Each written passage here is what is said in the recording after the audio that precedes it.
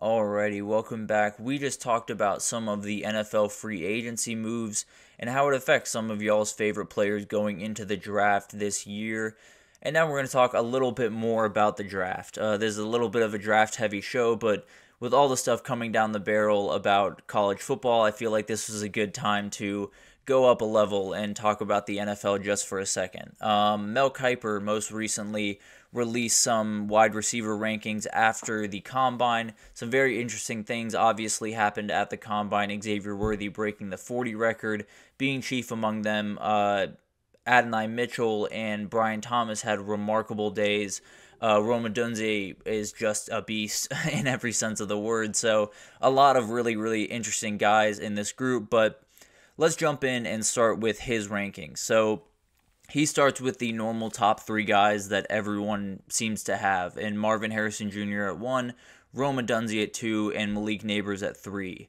Uh, he then has Brian Thomas at four, which makes a lot of sense to me. Xavier Worthy at five, Adonai Mitchell at six, Keon Coleman seven, Xavier Legette at eight, and Malachi Corley at nine, and then finally Ladd McConkey rounding it out at ten. So a lot of very, very talented guys, a lot of different ways to kind of uh, play around with this, but some changes to this list since the last time he that he uh, dropped it, which was uh, Keon Coleman fell from five to seven after the combine, um, brought mainly because of what the two Texas guys and Adonai Mitchell and Xavier Worthy did at the combine, but um, not a big drop off for Keon Coleman, but definitely um, a little bit of a drop off for him. Um, at least in Mel Kiper's eyes. Uh, also, Malachi Corley found his way into the top 10. He replaced Troy Franklin, who was at 10 uh, in the previous iteration. So there are a lot of very interesting things. I think one of the things that you might be expecting is Xavier Worthy jumped Adonai Mitchell after the um,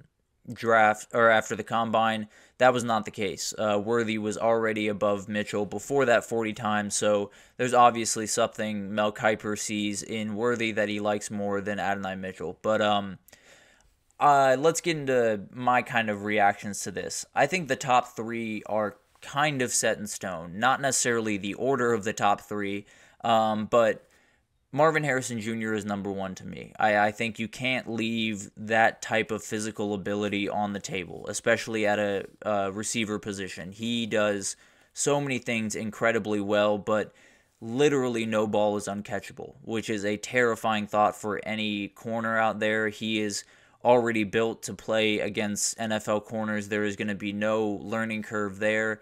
He runs routes incredibly well for someone his size. He can do a number of things. His top end speed is crazy. So basically, he's an athletic freak. And if you have an athletic freak at wide receiver, it's really hard for teams to pass that up. So I think Marvin Harrison Jr. is locked in at number one. Number two and three, I think you can take your pick. I don't think there is a bad way to rank Roma, uh, Rome Odunze and Malik Nabers. I think they are both remarkably talented in different ways, but both are just incredible in every way. I would go Roma Odunze's way. Uh, in my personal opinion, I think he's just a little bit cleaner of a route runner, a little bit more of a complete receiver. But at the end of the day, whoever you get out of these two guys is going to make a massive difference in your team. And Malik Nabers, if you get the ball in his hands, he can get gone in a hurry. So uh, he's someone that if you were to have him at number two, I would not be at all um, would not at all turn my nose up at that. Uh, and also number four, I totally agree with him. Brian Thomas, the size and speed factor uh, combination for that kid is just off the charts. Uh, someone that big, someone that long should not be able to move the way that he's able to move, and it's just remarkable to watch. It's why uh, everyone talked about Malik Nabers, and Brian Thomas was just over here having almost a 20 touchdown season, like just doing crazy stuff at the wide receiver position. So, um, to me, Brian Thomas, is, he might be my favorite of the wide receiver group just because of his athletic ability and the things that he can do, and partly because there's so much focus on the top three guys that number four is man, just might just be as good as uh, the other three. So it'll be really interesting to see what he can do. He's someone that could go any number of places in the first round, but it feels like more and more a lot of these wide receivers are going to find their way into the first round because, as we know in the draft, there is sometimes this thing that happens where you'll see one guy in one position go, let's say wide receiver go at number 10 and then another one go at 12 and then another one go at 13 and then teams get nervous and they start to throw out a lot of the picks that they maybe thought they were waiting till the second round to grab have now become first round picks because they feel like they won't come back around to them in the second round. So uh, once Marvin Harrison Jr., Roma Odunze, and Malik Nabers are off the board, a lot of things could happen and a lot of things could change very quickly. So it'll be interesting to see how all of that unfolds. Um, but after that, I start to disagree just a little bit with Mel. I think uh, one of the big ways that I disagree is I would just flip the two Texas guys. I think Xavier Worthy is remarkable. He's obviously, the speed is just insane. I think there are some worries about his. Um, about drops with him, um, but most of that happened when he had a broken hand towards the end of the 2022 season, so that's not necessarily a worry that I have. Incredible route runner, but the size is somewhat of a concern going into the next level. I, I think even if you know he does play physical, and if you watch the tape, man, does he play physical? And I don't think it's going to be a huge problem I think when you're in those rooms with the NFL scouts, it's going to be tough to overlook 165 at certain points. So I think Adonai Mitchell, the 50 50 ball ability, the size, the strength, the athletic, the speed, everything. Uh, I would I would lean him at the five position over Worthy at the six, but these guys are remarkably close, and both of them are going to make huge differences on whatever team that they're drafted to. Um, at seven, I think I would go Xavier Legette. Uh, he's someone that is just an athletic beast. He can fly, can line up all over the field. Um, had a great day at the pro day for South Carolina that happened yesterday, um, along with uh, Spencer Rattler, who had a great day, who we talked about earlier. Um, Xavier Legette is someone that NFL teams are going to absolutely love. Every time you see him work out, it's just remarkable to watch. So I think he's someone that's jumping off the screen more and more as he gets in front of these scouts more and more.